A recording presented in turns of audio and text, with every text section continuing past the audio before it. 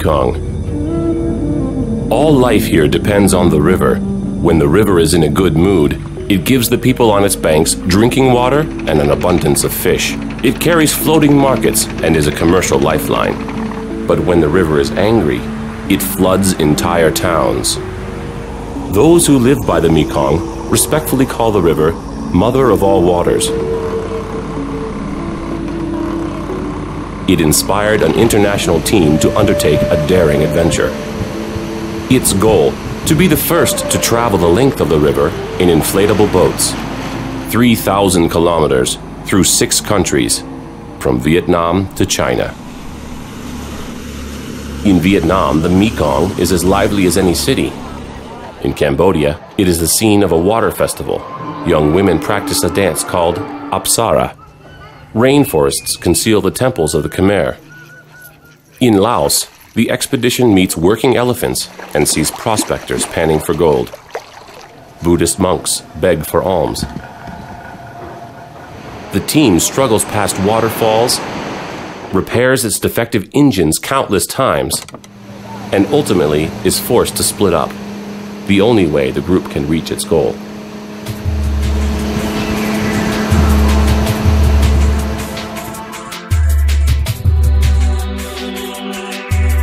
The source of the Mekong is located in China. The river flows along the Burmese border before crossing Laos to become the border to Thailand. Its delta is in the South China Sea in Vietnam. The expedition begins in Ho Chi Minh City, formerly known as Saigon, an up and coming metropolis. Thirty years after the end of the Vietnam War, interest in communism is fading. All indications are that Vietnam will open its doors to the once hated West. Skyscrapers shoot up behind restored cultural monuments. The dynamic atmosphere is reminiscent of French colonial times. But in the tumult, there are also places of quiet and stillness. Vietnamese enter a Taoist temple to pray.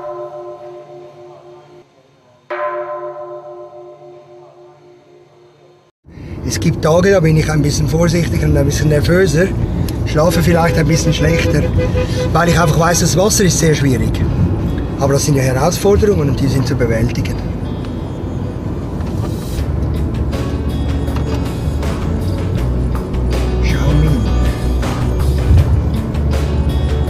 You don't have air condition. The comforts of civilization end in the port of Ho Chi Minh City. Andy Lehman will be doing without air conditioning for the next 3,000 kilometers. He is the captain of the Mekong expedition. With two specially prepared boats, the crew hopes to travel from Vietnam to China, something no one has ever done before. Planning and preparation took two years. The boats were custom made in South America. The shock absorbing hulls are flexible engines with 225 horsepower keep the boats on target against the strongest current. Thank you very much eh, for helping. Bye. Full speed ahead, past container ships and cargo boats, through the Mekong Delta. Andy Lehmann has attained a personal goal. Ich denke, es ist immer noch wahnsinnig, dass wir das geschafft haben. Dass wir jetzt in Saigon sind und losfahren. Achtung, Welle vom großen Frachter.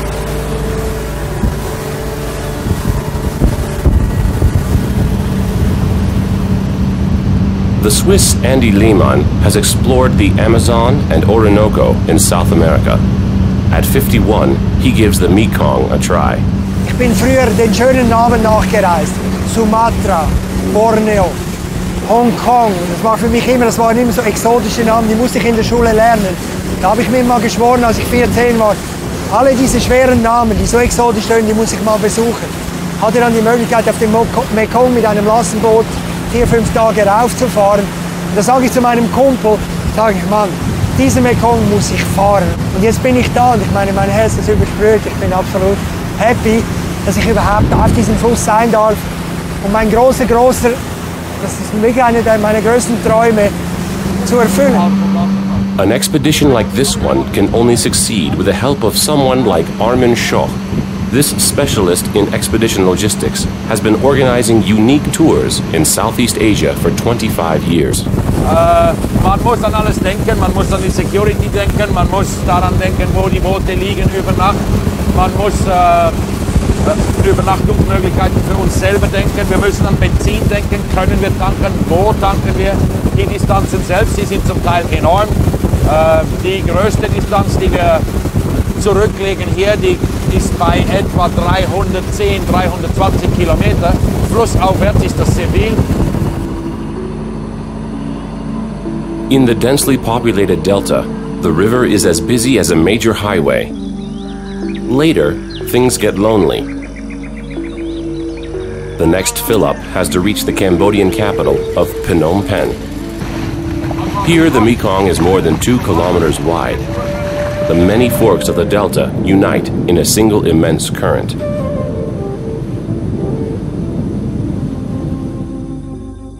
The Cambodian capital of Phnom Penh celebrates its water festival. 400 teams of paddlers race dragon boats along the river. For three days in November, the city teems with millions of visitors. The dragon boats are 30 meters long. Each boat has room for up to 65 paddlers. It is an honor for any Cambodian city to have a team in the race. The Mekong's reversal of its flow is unique.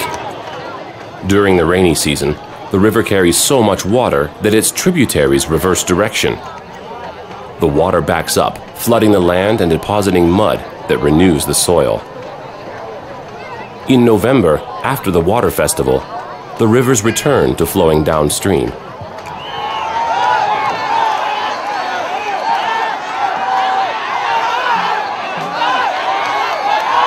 While the paddlers are still competing, the masses pour into the carnival. Cambodia is one of the world's poorest countries. Child labor is everywhere you look. Today, at least, these kids can enjoy a treat. Phnom Penh is normally quiet by 10 o'clock. During the water festival, the people party all night. Thousands crowd the space in front of the royal palace, hoping for a look at the head of state. And there he is, visible just for a moment Norodom Sihamoni, King of Cambodia. And Phnom Penh goes on celebrating. In the 19th century, no European knew the exact course of the Mekong. Around 150 years ago, a French group, under Doudart de Lagrée, embarked on an expedition to survey the river. Their goal was to find a trade route from Saigon to China. Difficulties and hardships plagued the adventurers as they struggled upriver. The expedition leader died, most likely of dysentery. After two years, the rest of the group finally reached the Chinese border commercial use of the river was out of the question. The river was much too wild. And today, nothing has changed.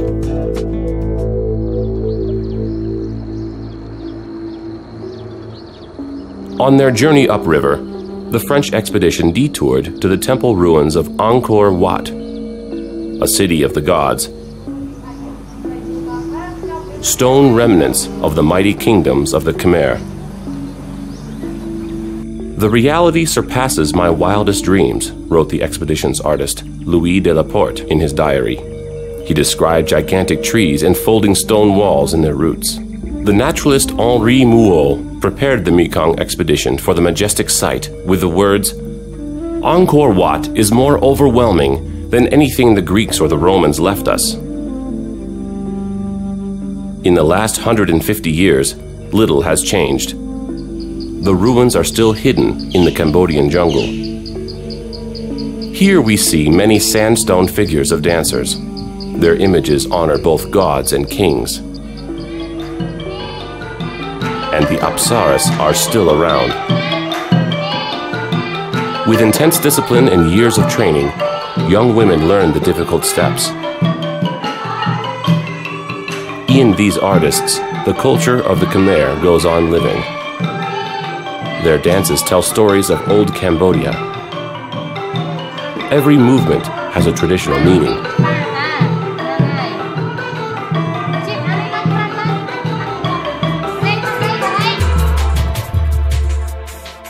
The waterfalls of Khone Phapheng in Laos put an end to the French expedition 150 years ago. Any hope of using the Mekong as a trade route to China were dashed by 15 kilometers of waterfalls, the Niagara of Southeast Asia.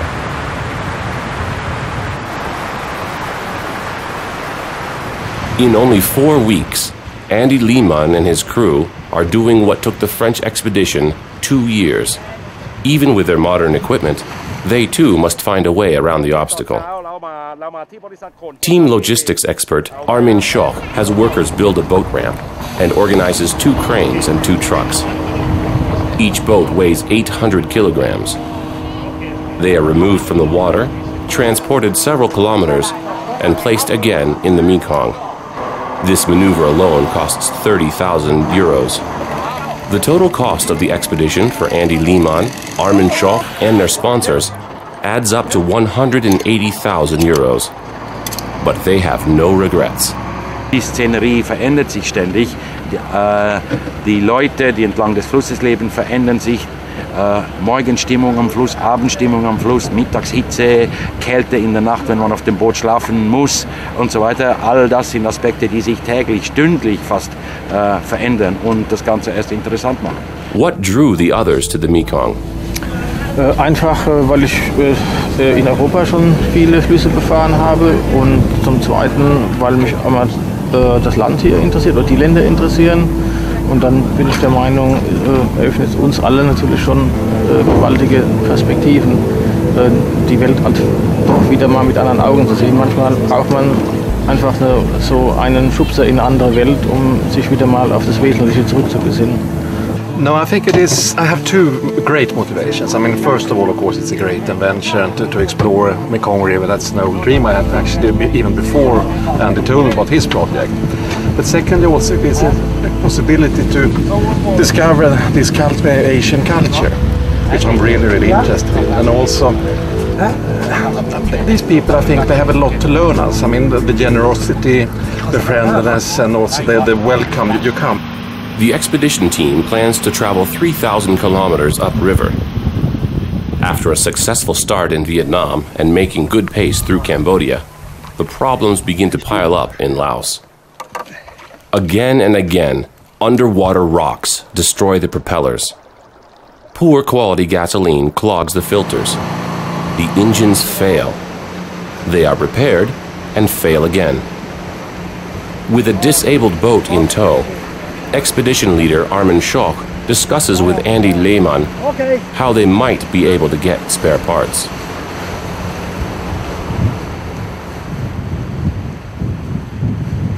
Just short of the Thai border, the situation becomes undeniable. One of the outboard motors is past saving, and the motor on the boat in front won't start.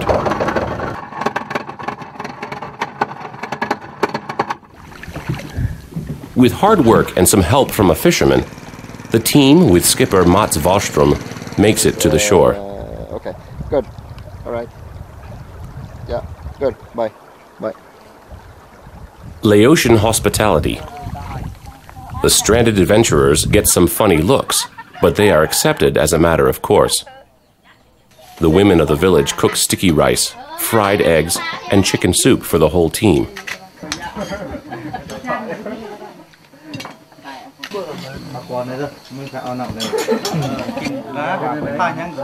After dinner, the men of the village sit together. Before long, everyone is asleep on the wooden floor. The next day, the crisis summits. One of the boats can't go any farther. It's impossible to get spare parts. Will the team split up? Serious discussions. Bueno, I, I But that is still hope so- that my solution that's is not- working well. That's easy. And I catch you that's up in much the end. easier said than done. We are not lucky. But No, but luck change. yeah, yeah, but I thought luck will change a little bit earlier. I don't really believe in that anymore. Now we have to face reality. And maybe that could be also another possibility is, is, is to split the group into two groups. One group that goes ahead and one group that stays with you. That's also a possibility. The decision has been made. The team will separate into two groups. They divide up the tools. To repair the motor, Andy Lehmann will stay behind. Ich denke, es wird schwer, sie aufzuholen, aber wenn ich näher komme als ein Tag, dann werden sie auf mich warten. Wir haben ein gutes, gutes Team, sehr kompetentes Team im ersten Boot. Und meine Person ist mehr gefragt, ein bisschen an der Technik da mit Einbau. Ich kann die Leute nicht alleine machen lassen. Then again, I mean, then we'll see how, how far we get. But that we can never be sure of. We, we even though with uh, all the team uh, together, we've had massive problems so far. So, I mean, it's a lot of uh, some knowledge, uh, some experience, but also quite a portion, uh, big portion of luck. The first boat gets a head start, accompanied by local guides intimately familiar with the Mekong.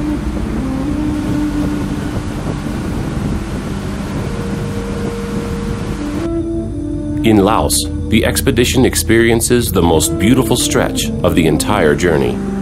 Villages cling to the riverbank like swallows' nests. The limestone caves are filled with thousands of Buddha statues.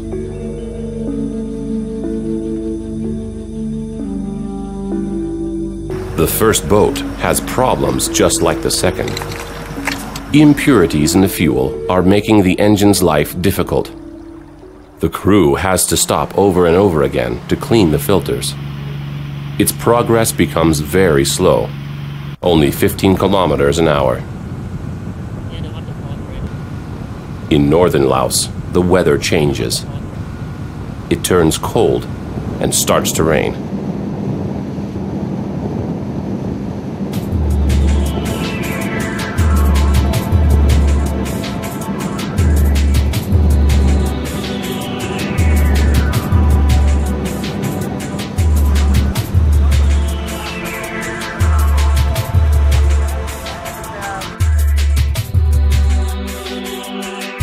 Meanwhile, back in Mukdahan, Thailand, Andy Lehman searches for a metal worker to repair a propeller damaged by rocks.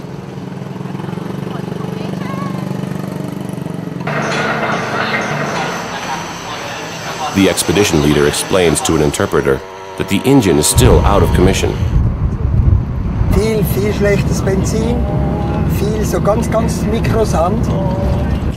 Aber das Problem, warum dass die Techniker da sind, ist, ich habe meine Gearbox, meine Getriebe ist äh, explodiert.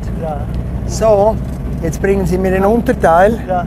Kann man heute Ja, ja, reparieren? kann ich. Geht Eine schon, halbe ja. Stunde, Stunde ist es drin. But, äh, es hat viel gekostet, aber wir haben das Teil heute da. Diese Jungs, die sind jetzt 10 Stunden, 12 Stunden unterwegs, haben gestern Nacht um 9 Uhr das Teil abgeholt im Airport in Bangkok und sind jetzt, äh, ja geil, 10.30 Uhr sind sie da. Also, also Stunde, Stunde 129 Getriebe The team has been on the river for over 2,000 kilometers. Here, in the wilderness of Laos, they are nearly by themselves. The river was never as lonely as this.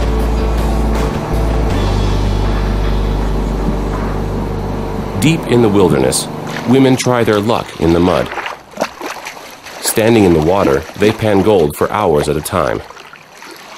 In a good month, each of them might find only one gram of gold. It's not much, but it's enough to survive on out here.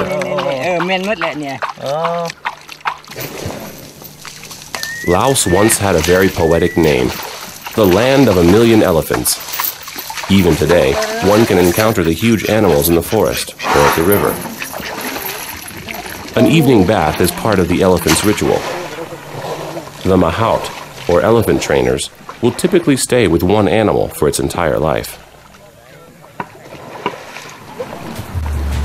The expedition spends most of the day on the river, not landing until just before sunset.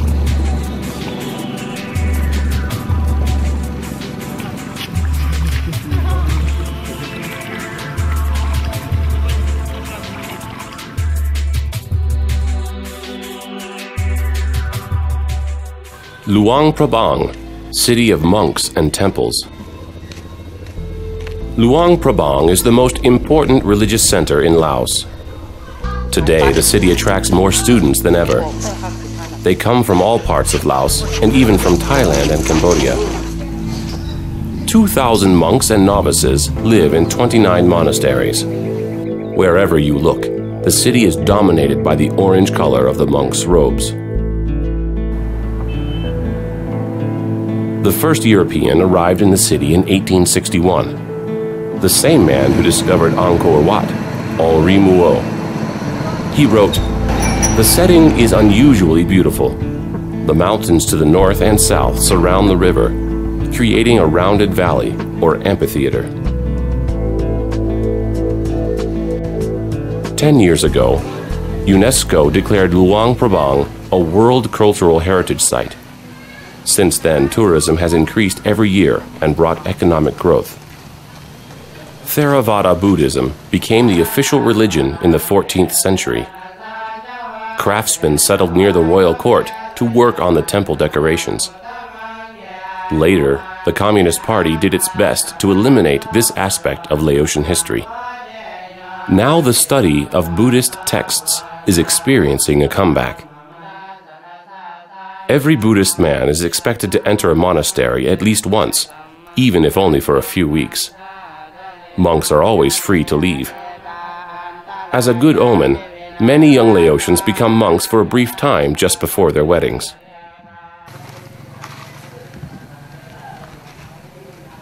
In the evening, the main street of Luang Prabang becomes a busy market. Women from the Hmong tribe, a Laotian mountain people, sell cotton, silk, and silver jewelry. Lamps are another local product. The Hmong make them from mulberry bark. 6.30 in the morning, the monks begin their begging for alms, or tak bat. Every day they beg for their daily bread, mostly sticky rice and baked goods. The monks file down the street in order of rank, from the oldest to the youngest. They do not express thanks for donations. In Buddhist belief, the giver is obligated to thank the monks for the chance to do a good deed.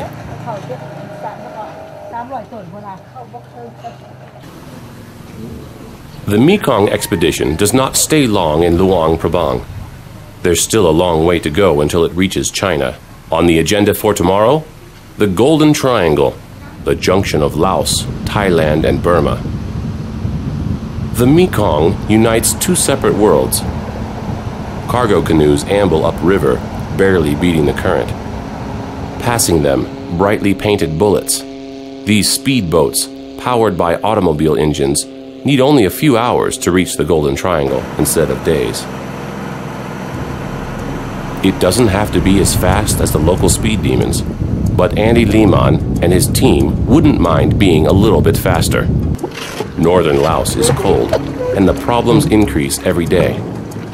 The boat keeps getting stuck on sandbanks. Impurities in the gasoline have made the engines fail yet again. Morale is at a new low. The group fights its way upriver, kilometer after kilometer. At this point, Andy Lehman must take the first group's inflatable northward while he was back in Thailand repairing his own engine, the first boat's engine failed as well.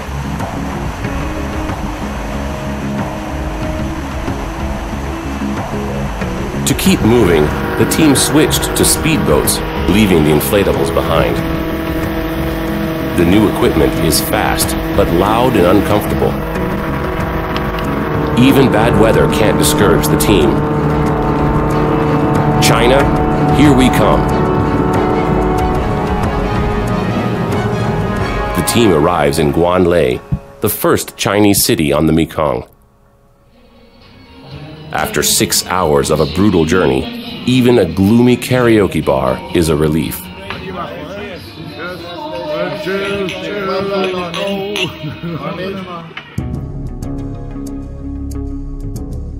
Meanwhile, in Laos, just this side of the border to Thailand, expedition leader Andy Lehman has serious doubts about the project's success.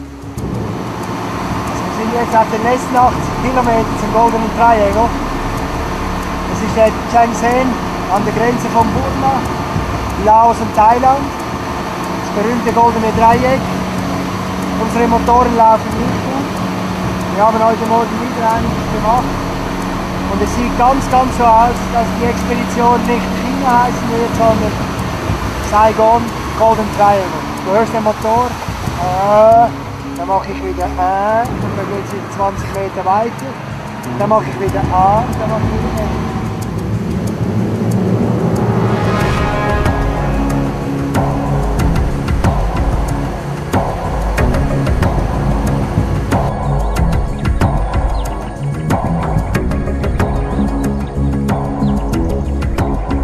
At the Golden Triangle, the damaged boats have to come out of the water. Auch die Franzosen haben eineinhalb Jahre dazu gebraucht. Warum sollen wir nicht auch ein bisschen länger brauchen? Wir haben bessere Technik, wir haben modernere Mittel zur Verfügung. Ja, wir haben angefangen und wollen es zu Ende führen. Und der Entscheid war schwer, aber ich lasse jetzt meine Boote da und äh, kämpfe weiter. Team changes boats. With a speedboat that can do 70 kilometers an hour, they head along the Burmese border toward China. Gigantischer Fluss, böser Fluss, guter Fluss, schöner Fluss. Alles, was man sagen kann, ist ein sehr spezieller Fluss. Noch nie so etwas gesehen, noch nie einen Fluss von so vielen Seiten kennengelernt. Ist wie eine Frau mit allen Launen und Schönheiten. The banks are populated by the tribe of the Akha.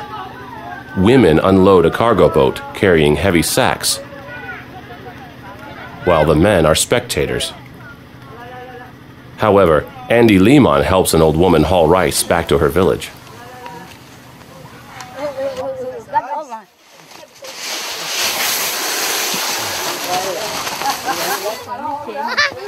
Locals and visitors are equally amazed at each other. The entire clan comes to say goodbye. The Mekong was not always navigable. In the 20th century, the Chinese dredged a shipping channel with dynamite. Now rusty freighters steam up and down the river, and the speedboat pilots have to watch out for their bow waves. After four weeks and 3,150 kilometers, with stops in Vietnam, Cambodia, Laos, and Thailand, the expedition has reached its goal China. Ich habe meinen Stempel im Visa, bin der glücklichste Mensch auf der Welt. Wir haben es geschafft. Wir sind 3000 und mehr Kilometer auf dem Mekong gefahren. Und unbeschreibliches Gefühl. Hätte nie gedacht, dass dieser Traum sich irgendwann verwirklichen wird. Da sind wir. Einfach happy, happy.